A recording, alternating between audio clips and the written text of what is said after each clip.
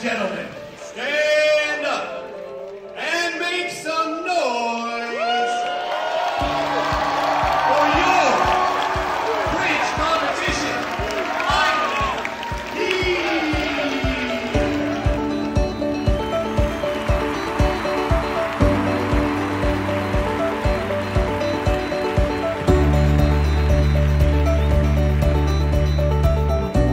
bridge building competition is really one of the most highly anticipated events all year. It's something where students from all grades can participate, again, multiple different classes, and we go through different rounds of testing to test them up to certain levels of efficiency, and it's a raucous event. We've got music playing, and it's just great to see them standing up out of their seats and cheering um, as the best bridges are broken in front of everybody.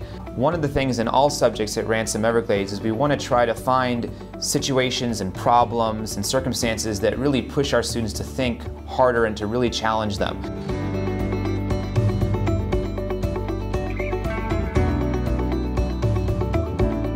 I teach engineering class, I teach biology class, but I actually spend more of my time on the robotics program in terms of finding those kids who have that additional interest, something beyond the classroom, who want to really make a new thing.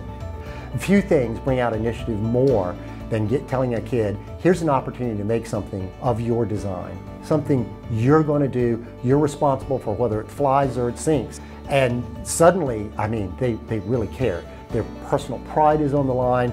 Um, their desire to, to look good in front of their peers is on the line. Some of the, the best moments in science aren't really eureka moments. They're where you say, that's funny, I didn't think that was going to happen. And you try to figure out how, why it didn't work the way you did. And that's where often the most interesting uh, questions are answered. You know, science applies the world in complex ways and you have to be ready for what is just a messy problem. And so the bridge building competition is the messy problem.